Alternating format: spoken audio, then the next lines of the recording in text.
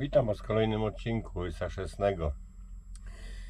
No, korzystając też znowuż z okazji, bo stoimy w kolejce już, jest małe zatwardzenie do granicy na Widyń, Widyń, więc mogę poruszyć jeszcze jeden taki temat, który mnie bardzo ciekawi, a mianowicie chodzi mi o duże holowniki, które no, jak każdy wie, no, bywają na trasach. Są firmy, które trudnią się z ściąganiem, scholowywaniem pojazdów ciężarowych.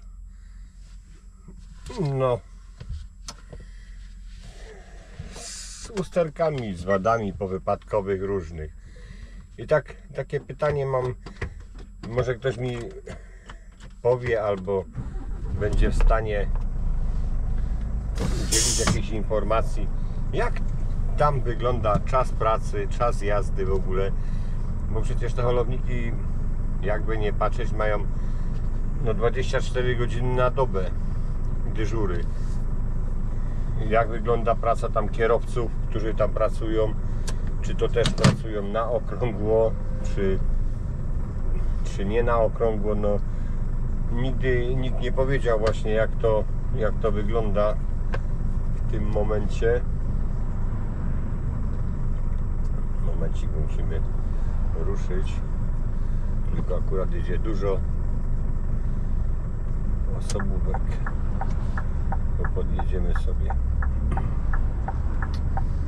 Bo kiedyś miałem możliwość miałem możliwość powiedzmy bardziej nieprzyjemną taką sytuację, że musiałem być też holowany przez takowy holownik duży. I o co mi chodzi? Kierowcy, którzy pracują na holownikach, mają wynagrodzenie stałe? Czy to jest od kursu?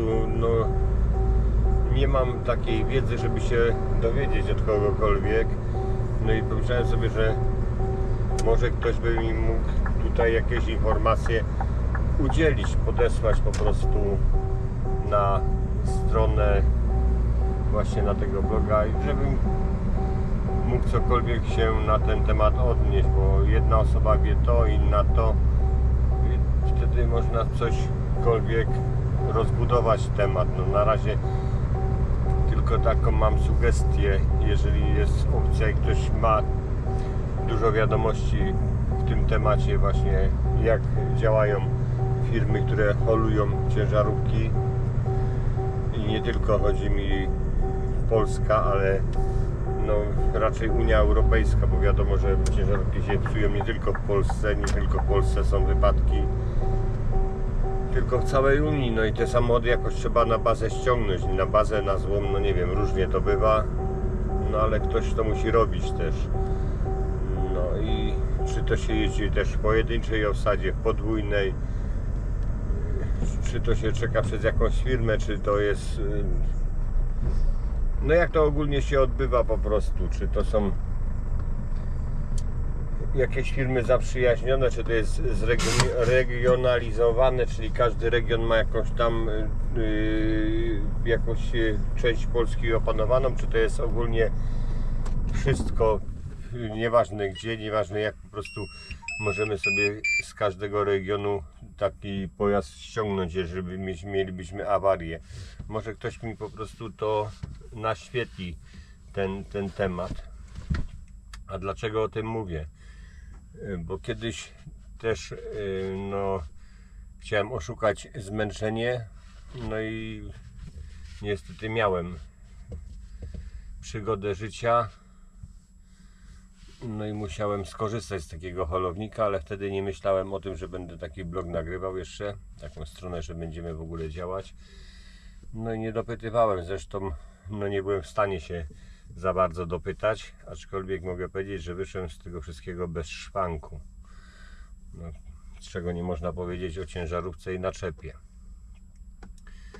No dobrze, to by było z tej, z tej strony pytanie moje, tylko chodzi mi wiadomo nie o podczołgówki, tylko typowo o holowniki. No podczołgówki też, czyli najazdowe takie jak coś ala, lo, ala lora, tylko że to są no, na niskich podwoziówkach, że można przewozić ciągniki wciągając je na naczepę, wiadomo, na tą podczołgówkę. No to też jest do przewożenia w całości, tylko już wtedy auto nie jedzie na swoich kółkach, nie jest ciągnięte, tylko przewożone. No to jest to jako ładunek podejrzewam traktowane, no ale czy to też jest na systemie 24-godzinnym, czy niekoniecznie, czy to firmy mają swoje ubezpieczenia i jak to się odnosi, jeżeli by po prostu holownik coś przeholowywał i pojazd nie dosyć, że jest uszkodzony, a jeszcze bardziej zostałby uszkodzony przez holownik i jaka odpowiedzialność ciąży na osobach, czy na firmie, która to holuje, a jaka na osobie, która no, ciężarówkę przekazuje po jakiejś kolizji, po wypadku, czy też po awarii. No jestem bardzo ciekaw, jak to, jak to wygląda. No, jakie, jakie są ceny w ogóle yy, przy przeholowania takiego, czy to jest od kilometra płatne, czy to jest od całości kursu.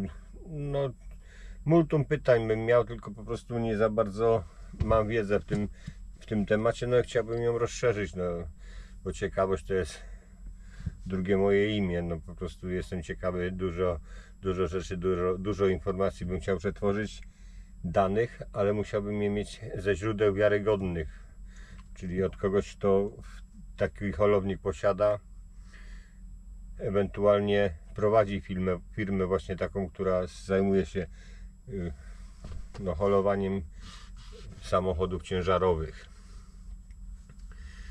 To by było w tym temacie wszystko, co bym mógł powiedzieć. Proszę bardzo, wszyscy bez kolejki jadą. Ciekawe jak daleko dojadą. No to w tym temacie dla Was to było moje takie pytanie.